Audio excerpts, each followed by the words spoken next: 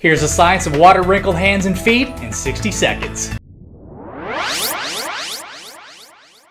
Ever wonder why your hands and feet turn white and wrinkle when they're in water? It's where our skin's thickest, sure, but it turns out it has an evolutionary advantage. Scientists noticed that people that have nerve damage in their hands or feet didn't wrinkle in water, so they started to look at why. The wrinkling's actually linked to our fight or flight response in our nervous system. Your skin turns white because your blood vessels constrict, reducing blood flow, like when you're in cold weather. The strange part is the wrinkling happens when you're in warm water also. Studies show wrinkled fingers actually increase our grip on wet or submerged objects and it channels water away like a tire tread. Theory is it probably helped our ancestors gather food in wet environments and gave us better footing in the rain. With all these advantages, there's actually no disadvantage in dry conditions. So why aren't our fingers and toes wrinkled all the time then? Wrinkled fingers have less sensitivity as we all know, and there's a risk of the wrinkles getting caught on objects and being torn. So they only transform when needed in water. The funny part is we still don't know why just being in water triggers our nervous system's fight or flight response, causing the wrinkles. Us and macaques are the only ones we know that get wrinkled digits in water. To learn why the sky is blue,